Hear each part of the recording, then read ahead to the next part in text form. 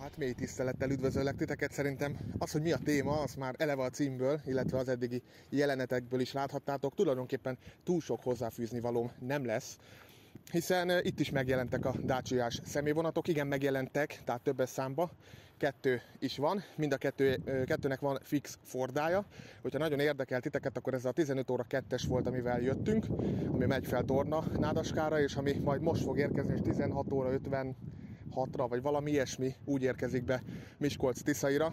Na hát az lesz a, az lesz a másik dácsiás, azt hiszem az 15 óra 14-kor indult el Tornanádaskáról. Ugye azért különleges, és most nem a vonalat jöttünk filmezni, mert azt már megtettem, és nem, nem is nagyon kedven felmenni Tornanádaskára, mert itt még Edelénybe, ahol most vagyunk, itt még egészen nyugalmas, de hát azért ott feljebb Szendrőt környékén már annyira nem feltétlenül nyugalmas a közösség, és akkor most nagyon finoman fogalmaztam, de a lényeg a lényeg, hogy megjelentek a Dacia vonatok, és nem úgy, ahogy a Győr-Veszprém vonalon, ugye arról is volt videóm, ha nem láttad, nézd meg, pár nappal ezelőtt, hanem BHV kocsikkal, Dacia Cibálkét, BHV-t. Tulajdonképpen egyébként ez tök jó, kényelmes, ettől függetlenül. Tehát akkor is elmondtam, hogy én nem fikázom ez ügyben a mávot, legalább, nagyon sokan írtatok, legalább van vonat, tény és való, és tulajdonképpen egy átlag utasnak teljesen mindegy, hogy egy BZ motor húzza mondjuk ott ugye a mellékeket Győr Veszprém vonalon, vagy itt most mondjuk itt már annyira nem mindegy, hiszen itt a BZ motorokban van légkondi, a legtöbben legalábbis, ami erre közlekedik, én úgy emlékszem, ettől függetlenül a két BHV teljes mértékben egy jó utazási komfortot biztosít ezen a vonalon, és idején azt gondolom, hogy elég is. Ezen kívül majd még a magyar bói vonalra fogunk ellátogatni, ahol szintén van dácsiás személyvonat, és azt akartam az egészből kihozni, hogy én nem fikázottam múltkor sem, egyszerűen csak jól példázza azt, hogy a nyári megnövekedett balatoni, illetve egyéb turisztikailag érdekelt vonalak kapcsán a megnövekedett utasforgalom, illetve a vonatszám hát azt eredményezi, hogy egyszerűen már remote dácsiás személyvonatokat kell bevetni. Azért ez tényleg jól példázza, hogy hol tart jelenleg a mellékvonalak élete, de ezt már elmondtam a Győr-Veszprém vonalnál is, és igen, abban teljesen igazatok van, legalább van vonat, megoldották, és ilyen, kapcsolatában, ilyen kapcsolatban pedig hatalmas like a mávnak, tehát akkor legyünk korrektek. Nincs ezzel nagy gond, egyszerűen csak jól mutatja a helyzetet, és igen, sokan írtatok, hogy volt már ilyen régen is.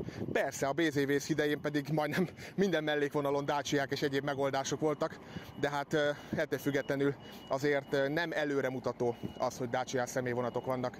Várjuk a másikat.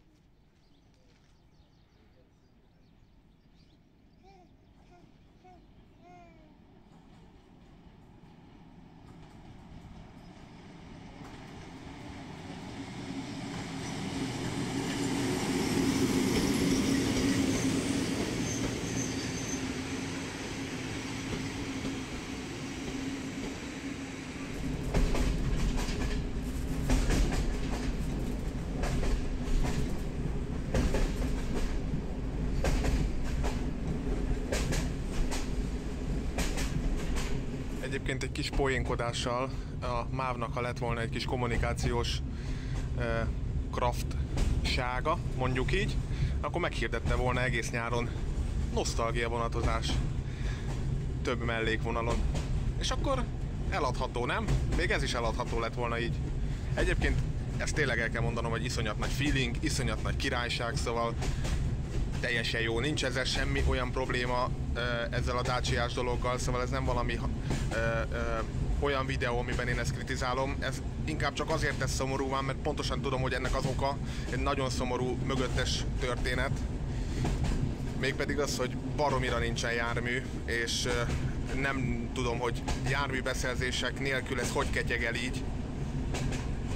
Ugye azt még hozzá kell tennem, hogy elvél, elméletileg ugye, ahogy mondtam is nektek, keretszerződés köttetődött a Vectronok terén, és egyelőre nem igazán tűnik úgy, hogy hamarosan érkezni fog egyetlen egy Vectron is.